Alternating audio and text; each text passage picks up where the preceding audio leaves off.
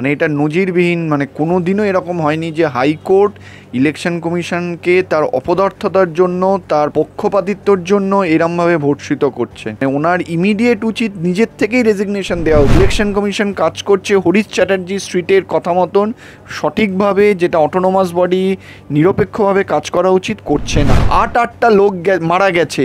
মানে মুড়ি মুড়কির মতন বোমা মরে পড়েছে, আর উনি বলছেন যে কোনো অশান্তি হয়নি, কোনো লোক মারা যায়নি ওনার ইলেকশন কমিশনার হওয়ার কোনো যোগ্যতা নেই। যে এরপরে ডিভিশন বেঞ্চে যেতে গেলে না নিজেদের পকেটের টাকায় যাবেন। আমি আপনি কর দিই, সেই টাকায় যাচ্ছেন তো নিজেদের টাকা খরচা হচ্ছে না, বুঝতে পারছে না, উন্নয়ন তো করছে না, আমাদের টাকা যেগুলো আমরা কর দিচ্ছি সেই টাকায় ফালতু অ্যাপিল করে সময় নষ্ট করছে, আমাদের করের টাকা নষ্ট করছে। তৃণমূল কংগ্রেসও চাইছে না যে সঠিক নির্বাচন, কারণ ওনারা জানেন আজকে যদি সঠিকভাবে কেন্দ্রীয় বাহিনী দিয়ে নির্বাচন হয়, মানুষ যদি মানুষের ভোট দিতে পারেন, ওনাদের অবস্থা কিন্তু শোচনীয়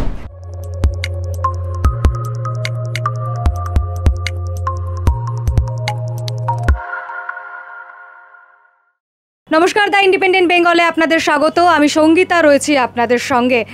রাজ্যপাল নির্বাচন কমিশনারের জয়নিং রিপোর্ট ফেরত পাঠিয়েছেন নবান্নে। এই আবহে যখন প্রশ্ন উঠছে, নির্বাচন কমিশনার কি সরে দাঁড়াবেন বা তাকে কি তাহলে সরিয়ে দেওয়া হবে? সেই মুহূর্তে মমতা ব্যানার্জি, অর্থাৎ মুখ্যমন্ত্রী পাশে দাঁড়ালেন নির্বাচন কমিশনারের। তিনি বললেন, এই সংক্রান্ত কোনো ফাইল তার কাছে পৌঁছায়নি এবং নির্বাচন কমিশনার অর্থাৎ রাজীব সিনহাকে সরানো এত সহজ নয়। এই নিয়ে কথা বলতে এই মুহূর্তে আমাদের মধ্যে পেয়ে গিয়েছি আইনজীবী সুদীপ্ত দাশগুপ্তকে। প্রথমে স্যার অনেক স্বাগত। কি বলবেন? দেখুন, যে ঘটনা ঘটেছে, যেরমভাবে ভর্ষিত হয়েছে নির্বাচন কমিশনার বা নির্বাচন কমিশন ওনার নৈতিকভাবে তো ইমিডিয়েট রেজিগনেশন দেওয়া উচিত ছিল। কারোর জন্য অপেক্ষা করাটা উচিত ছিল না। মানে এটা নজিরবিহীন মানে কোনো দিনও এরকম হয়নি যে হাইকোর্ট ইলেকশন কমিশনকে তার অপদার্থতার জন্য তার পক্ষপাতিত্বর জন্য এরমভাবে ভর্ষিত করছে। মানে ওনার ইমিডিয়েট উচিত নিজের থেকেই রেজিগনেশন দেওয়া উচিত। কারণ কালকে যে অর্ডার হয়েছে, সেখানে হাই মহামান্য প্রধান বিচারপতি যে ডিভিশন বেঞ্চ পরিষ্কার বলেছে যে ইচ্ছাকৃতভাবে কোর্টকে অর্ডার অবমাননার জন্য কোর্টের অর্ডার পালন করা হয়নি। এবং অনারেবল ডিভিশন বেঞ্চ মনে করছে যে ইচ্ছাকৃতভাবেই কোর্টের অর্ডার মান্যতা দেওয়া হয়নি। এবং মনে করছেন যে কমিশন কোনো সদিচ্ছাই নেই যে প্রকৃতভাবে ফ্রি অ্যান্ড ফেয়ার ইলেকশন হোক। এরপরে এক ঘন, দিনের জন্য আর ওনার কোনো এই কমি ইলেকশন কমিশনের পদে দায়িত্বে থাকা উচিত না। তো মমতা ব্যানার্জি সাপোর্ট করছেন কোথাও গিয়ে বিরোধীদের যে অভিযোগ সেটা কি তাহলে একটা প্রকাশ্যে প্রমাণ হয়ে গেল? দেখুন, এটা আর এই মুহূর্তে বলা চলে না যে অভিযোগের পর্যায়ে আছে। কারণ ইলেকশন কমিশনার যে কাজ করেছেন, যেরমভাবে ইলেকশনটাকে উনি পরিচালনা করতে চেয়েছেন, তাতে পরিষ্কার বোঝা যাচ্ছে যে রাজ্য সরকার এবং ইলেকশন কমিশন একসঙ্গে মিলে কাজ করেছে। মানে কি বলব, দুজনে এই যে নিরপেক্ষতা থাকে একটা ইলেকশন কমিশনের সে নিরপেক্ষতা দিয়ে কাজ করেনি এবং সেটা কালকে মহামান্য প্রধান বিচারপতি বলেছে যে আপনার সেই নিরপেক্ষতা কোথায়? দু হাজার তেরো সালের যে ইলেকশন কমিশন আপনি কি টিএন সেশনকে ভুলে গেছেন? মানে কার্যত হাইকোর্ট প্রশ্ন করেছে আপনার কোন ইলেকশন কমিশন নিরপেক্ষতা নিয়ে। আর বিরোধীরা বারবার বলে আসছে, আমরা যে কোর্টে মামলা করেছি, আমরা বারবার বলেছি যে ইলেকশন কমিশন বা ইলেকশন কমিশনার যে একটা অটোনোমাস বডি সেইভাবে কাজ করছে না, এরা এক পেশি তৃণমূল কংগ্রেসের হয়ে কাজ করছেন। ইলেকশন কমিশন কাজ করছে হরিশ চ্যাটার্জি স্ট্রিটের কথা মতন। সঠিকভাবে যেটা অটোনোমাস বডি নিরপেক্ষভাবে কাজ করা উচিত, করছে না। এর আগে ইলেকশন কমিশনার মন্তব্য করেছেন যে মনোনয়নে কোনো খুন হয়নি, সন্ত্রাস হয়নি। এর পরিপ্রেক্ষিতে আবার যদি দেখুন তাহলে আমি সেটাই বলছি মানে উনি মনে হয় চোখে এমনই একটা কাপড় বেঁধে রেখেছেন যে শুধুমাত্র আর কানে এমনই তুলো গুজে রেখেছেন যে কোনো কথা তিনি শুনতে পাবেন না, দেখতে পারবেন না, কোনো কিছু, শুধুমাত্র যেটা হরিশ চ্যাটার্জি স্ট্রিট থেকে আসবে তার বাইরে। আট আটটা প্রাণ চলে গেছে এবং সব জায়গায় দেখানো হয়েছে, আর উনি আজকে বলছেন যে কেউ মারা যায়নি, এতে, এতেই প্রমাণিত যে আজকে ইলেকশন কমিটা কমিশন কতটা পক্ষপাতিত্ব হয়ে তৃণমূল কংগ্রেসের হয়ে কাজ করছে মানুষের জন্য না। আজকে ইলেকশন কমিশনের কাজ হলো কোনো পলিটিক্যাল পার্টি না, যারা ইলেকটোরেট, যারা ভোট দেয় তাদের শর্ত দেখা, ডেমোক্রেসিকে বাঁচানো আর আজকে উনি কাদের হয়ে কাজ করছেন? তৃণমূল কংগ্রেসের হয়ে কাজ করছেন। আট, আটটা লোক মারা গেছে। মানে মুড়ি মুড়কির মতন বোমা মরে পড়েছে। আর উনি বলছেন যে কোনো অশান্তি হয়নি, কোনো লোক মারা যায়নি। মানে মানে কি বলব, এর থেকে পরিষ্কার যে ওনার ইলেকশন কমিশনার হওয়ার কোনো যোগ্যতা নেই। এর থেকে পার্টির ক্যাডার হয়ে কাজ করুন, আমরাও সেই অনুযায়ী ওনার সঙ্গে ডিল করব। একটা সাংবিধানিক পদে বসে সেই পদকে অপমান করার অধিকার ওনার নেই। একদিকে রাজীব সিনহার যেমন মন্তব্য মনোনয়ন নিয়ে, উল্টো দিকে আজ মুখ্যমন্ত্রী মমতা বন্দ্যোপাধ্যায় বলছেন যে, এর আগে শান্তিপূর্ণভাবে মনোনয়ন কখনো হয়নি। দেখুন, এটা আমি আগেও বলেছি, মুখ্যমন্ত্রী যেটা বলবেন, ধরে নিতে হবে ঠিক তার উল্টো। উনি যখনই বলবেন যে ভোট শান্তিপূর্ণ হয়েছে, আপনারা শান্তিপূর্ণভাবে থাকবেন, তার মানেই উনি বলতে চেয়েছেন যে আগে যে অশান্তি করেছ, সেই তার থেকে আরও বেশি মাত্রায় এবার অশান্তি করবেন। ঠিকই বলেছেন যে এবার যা শান্তিপূর্ণ হয়েছে হয়নি। তার মানেই হলো এবার যা অশান্তি হয়েছে আর কোনোবার হয়নি। কারণ ওনার টার্গেটটা ছিল, ওনার দলকে উনি টার্গেট দিয়েছিলেন দু হাজার আঠেরোতে যা অশান্তি হয়েছে তার থেকে বেশি মাত্রা। এবার শুধু ভেবে দেখুন নমিনেশন পর্বেই আটজন মারা গেছে। এবার তাহলে এই যে ইলেকশনের যে পিরিয়ড এখানে আরও আছে, ইলেকশনের দিন এবার দু হাজার আঠেরো সালে, তেরো সালে ফা- পাঁচ ফেজে হয়েছিল দু হাজার আঠেরো হয়েছিল, কিন্তু দু হাজার বাইশ সালে এক ফেজে হচ্ছে। তার মানে উনি এটা বলছেন যে আরও বেশি অশান্তি করতে হবে। আটজন লোক মারা গেছে। ওনার কথা উনিও তো স্বীকার করছেন, তৃণমূল কংগ্রেসের নাকি তিনজন মারা গেছে। এই যে তিনজন মারা যান কি আটজন মারা যান? কোন দলের মারা যান? আমার আপনার সহ নাগরিক মারা যাচ্ছে। তার মানে অপদার্থটা কার রাজ্য পুলিশের অপদার্থতা ইলেকশন কমিশনের অপদার্থতা এরপরে উনি বলবেন শান্তিপূর্ণ নমিনেশন না, বারবার ধাক্কা খাচ্ছে হাইকোর্ট থেকে সুপ্রিম কোর্টে, রাজ্য সরকার কিন্তু তারপরেও আবার পঞ্চায়েত নির্বাচনে যে সিবিআই তদন্তের নির্দেশ দেওয়া হয়েছিল, সেটাকেও চ্যালেঞ্জ জানিয়ে ডিভিশন বেঞ্চে গিয়েছে রাজ্য। দেখুন প্রবলেমটা কী বলুন তো? যারা ডিভিশন বেঞ্চে যাচ্ছে, যদি এরকম, আমরা তো এবার ভাবছি এরকমই একটা মামলা করব যে এরপরে ডিভিশন বেঞ্চে যেতে গেলে না নিজেদের পকেটের টাকায় যাবেন। আমি আপনি কর দিই, সেই টাকায় যাচ্ছেন তো নিজেদের টাকা খরচা হচ্ছে না, বুঝতে পারছে না, উন্নয়ন তো করছে না, আমাদের টাকা যেগুলো আমরা কর দিচ্ছি সেই টাকায় ফালতু অ্যাপিল করে সময় নষ্ট করছে, আমাদের করের টাকা নষ্ট করছে। বারবার চরম চরম চর খাচ্ছে। হাইকোর্টে চরম চরম চর খাচ্ছে, সুপ্রিম কোর্টে চরম চরম চর খাচ্ছে, তাও শিক্ষা হচ্ছে না। মানে নির্লজ্জর মানে নির্লজ্জরও যদি কোনো উপর মাত্রা হয়, সেই মাত্রায় এরা গিয়ে বারবার কোর্টে যাচ্ছে এবং চরকাচ্ছে, ফিরে আসছে। আপনি ভেবে দেখুন মানে কতটা নির্লজ্জ যে হাইকোর্টে হারলো, সুপ্রিম কোর্টে হারলো, তারপরে বলল, মোটে বাইশ কোম্পানি কেন্দ্রীয় বাহিনী। তারপরে গালে চড়াম থাপ্পড় খেলো, খেয়ে বলল আরও আটশো কোম্পানি। মানে এই রকম নির্লজ্জ মনে হয় মানে পৃথিবীতে এরকম নির্লজ্জতার কোনো উদাহরণ আছে বলে আমার জানা নেই। কি মনে হচ্ছে? যে বারবার আমরা জানি খুব বেশি দেরি নেই পঞ্চায়েত ভোটে একেবারে দোরগোড়ায়। যে বারবার হাইকোর্ট সুপ্রিম কোর্টে ছোটা কোনোভাবে কি সময়টা এইভাবে এ, করে এক্সটেন্ড করে একটা পরিকল্পিত এটা কোনো কারণ হতে পারে? অবশ্যই যত দেরি করে কেন্দ্রীয় বাহিনী আসবে তত এই তৃণমূল কংগ্রেসের গুন্ডা বাহিনীরা সুযোগ পাবে যে মানুষের ওপর অত্যাচার করা বিরোধীদের ওপর অত্যাচার করা লোককে ভয় দেখানো। আপনি একটা ছোট্ট জিনিস আপনাকে বলছি প্রথম হাইকোর্ট অর্ডার দিল তেরো তারিখ যে কিছু স্পর্শকাতর জেলাতে আনতে হবে সিআরপিএফ। ওনারা কিছু আনলেন না। তখনই যদি আনতেন নমিনেশন কিন্তু এতগুলো প্রাণ যেত না। তারপরে পনেরো তারিখ বলল হাইকোর্ট যে স্পর্শকাতর না, প্রত্যেকটি জেলাতেই কেন্দ্রীয় বাহিনীর নিয়োগ করতে হবে এবং আটচল্লিশ ঘণ্টার মধ্যে করতে হবে। কেন করল হাইকো মহামান্য হাইকোর্ট? মনে রাখতে হবে, কারণ মহামান্য হাইকোর্ট কিন্তু জানতো আর একদিন নমিনেশনের লাস্ট দিন। কিন্তু আরও চার দিন সময় পাচ্ছে উইথড্রলের জন্য, যাতে উইথড্রলে কোনো বলপূর্বক উইথড্র করা না হয়। সেই সময়টাকে নষ্ট করার জন্যই কিন্তু রাজ্য সরকার আর কমিশন সুপ্রিম কোর্টে গেল। এবং অদ্ভুত ব্যাপার, সুপ্রিম কোর্ট প্রথম দিনই বলল যে, আপনাকে আমি কেন কমিশন এসছে। কমিশনের কি প্রবলেম এখানে কমিশনের উচিতই হলো যে কীভাবে সুষ্ঠু অবাধ নির্বাচন হয়। কেন্দ্রীয় বাহিনী দিয়ে হোক কি পুলিশ দিয়ে হোক, আপনারা কেন যাচ্ছেন? এটা আসলে ট্যাকটিক্স হলো যে এই যে এই চারটে দিন আমি নষ্ট করে দিলাম, আমি কেন্দ্রীয় বাহিনী আনলাম না, তাতে করে কি? ইলেকশন কমিশন চোখে কাপড় বেঁধে কানে তুলো বোধে বসে আছে, তৃণমূলের গুন্ডা বাহিনীরা জোর করে আমরা দেখেছি কত নমিনেশন উইথড্র করানো হয়েছে। এটাই ওদের টার্গেট ছিল, এই জন্যই যাচ্ছে। কোথাও গিয়ে এই যে সময় হাইকোর্ট বেঁধে দিয়েছিল যে এর মধ্যে কেন্দ্রীয় বাহিনীর জন্য আবেদন করতে হবে, কিন্তু সেটা না করা মানে কি? রাজ্য নির্বাচন কমিশন কন্টেম্প কন্টেম্প অফ কোর্টের আওতায় তো চলে আসে তার মানে অবশ্যই চলে আসে। কালকে মহামান্য প্রধান বিচারপতি এটা ডিরেক্ট অর্ডার দিয়েছে অবজার্ভ করেছে যে এই যে কার্যকলাপ যেটা নির্বাচন কমিশন করেছে বা কমিশনার করেছেন, এটা কোর্ট অফ কন্টেম্পট এবং এটা ডেলিবারেট এবং উইলফুল করেছে এবং এটা মারাত্মক এবং এর জন্য যদি মহামান্য আদালত মনে করে, এই ডেলিবারেট অ্যান্ড উইলফুল কন্টেম্পটের জন্য ওনাকে ছ মাসের জন্য জেল পর্যন্ত দিতে পারে।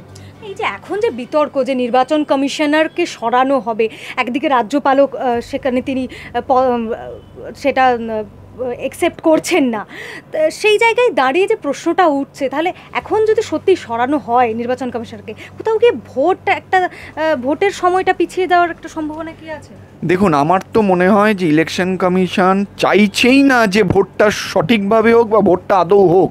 যদি চাইতেন, তাহলে কিন্তু বারংবার এইরম জিনিস করতেন না, যাতে করে কোর্টকে বাধ্য করতে হচ্ছে ওনাদেরকে। আপনারা কাজ করুন। কোর্টের তো এটা কাজ না। আজকে কোর্ট এটা কেন করছে? কারণ ইলেকশন কমিশন ইলেকশন কমিশনের কাজটা করছে না। আজকে যা পরিস্থিতি এরম হতেই পারে যে আজকে যে ইলেকশন কমিশনার ওনাকে জেল যেতে হলো বা ওনাকে সরিয়ে দেওয়া হলো, তালে করে নতুন যে কমিশনার আসবে, তার সে যদি চায় ইলেকশনের ডেট পেছোতে পারে, কারণ এটা মানতে হবে যে ইলেকশন কমিশন চাইছে না নির্বাচন হোক সব থেকে সর্বোপরি তৃণমূল কংগ্রেসও চাইছে না যে সঠিক নির্বাচন, কারণ ওনারা জানেন, আজকে যদি সঠিকভাবে কেন্দ্রীয় বাহিনী দিয়ে নির্বাচন হয় মানুষ যদি মানুষের ভোট দিতে পারেন ওনাদের অবস্থা কিন্তু শোচনীয়। না প্রশ্ন তো অবশ্যই উঠবেই কারণ নতুন নির্বাচন কমিশনার যদি আসে তার পুরো পরিস্থিতিটা আবার বুঝে সেই অনুযায়ী পদক্ষেপ নিতে সেটা তো একটা তো সময় লাগবেই। স্বাভাবিক লাগবে কারণ যিনি দেখুন আজকে যিনি এখন নির্বাচন করেন তিনি তার মতন কাজ করেছেন নতুন যিনি আসবেন তাকে তার মতন কাজ করতে গেলে সময় লাগবে এর জন্য ইলেকশন ডেট পেছোতেই পারে। এখানে এই যে আটশো আরও আটশো বাইশ কোম্পানি কেন্দ্রীয় বাহিনী এটা যুক্ত হলো। এটাতে কি মনে হচ্ছে? তাহলে কি শাসক দলে দলের কোনো চাপের কারণ হতে পারে? কারণ যেহেতু বারবার একটা অভিযোগ উঠছিল। দেখুন, পুরো জিনিসটাই দেখতে হবে যে ইলেকশন কমিশনের লক্ষ্যটা কি? ওনারা কি চান অবাধভাবে ঠিকঠাক, সুষ্ঠুভাবে নির্বাচন করানো? যদি চায়, এই যে আটশো কোম্পানি আরও আসলো, ওনাদেরকে যদি সঠিকভাবে প্রত্যেকটা বুথে দেয়, দুশো মিটারের মধ্যে দেয়, সঠিকভাবে রুট মার্চ করায়, তাহলে কিন্তু আজকে আপনাকে আমি বলে দিচ্ছি, তৃণমূলের গুন্ডা বাহিনী কিছু করতে পারবে না। মানুষ যদি মানুষের ভোট দিতে পারে, যেটা হওয়া উচিত, ইলেকশন কমিশনের কাজটা উচিত যে যারা ইলেকটোরেট, তারা তাদের ডেমোক্রেটিক রাইট যেন এক্সারসাইজ করতে পারে, সেটা যদি এনশিওর করতে পারে ইলেকশন কমিশন বা কেন্দ্রীয় বাহিনী যদি সেটা ইনশোর করতে পারে তাহলে কিন্তু শাসক দলের মানে দুঃখ আছে। অর্থাৎ বলছেন যে শাসক দলের দুঃখের কারণেই কি কোথাও গিয়ে এই কেন্দ্রীয় বাহিনী বিলম্ব ঘটা করার কারণটা এটাই? একদম একদম। কারণ দেখুন আজকে যদি শাসক দল একদম কনফিডেন্ট থাকতো যে আমরা কাজ করেছি, আমরা ভোট পাবো। তাহলে কেন্দ্রীয় বাহিনী আসুক, কে আসুক, ভোট তো মানুষ দেবে, কেন্দ্রীয় বাহিনী তো ভোট দেবে না। এদের এত আপত্তি কেন? আপত্তিটা এই জন্যই, কারণ কেন্দ্রীয় বাহিনী আসলে যদি প্রত্যেক বুথে কেন্দ্রীয় বাহিনী থাকে, তারা যদি রুট মার্চ করে, তারা যদি দুশো মিটারের মধ্যে থাকে, কোনো গণ্ডগোল হতে না দেয়, তাহলে কিন্তু মানুষ মানুষের ভোট দিতে পারবে, তাহলে তৃণমূলকে লোকে ভোট দেবে না। কারণ মানুষ এটা ঠিক করে নিয়েছে, তারা চোর, চাকরি চোর, কয়লা চোর, গরু চোরদের একটা ভোটও দেবে না। যদি মানুষ মানুষের ভোট ঠিকঠাক দিতে পারে।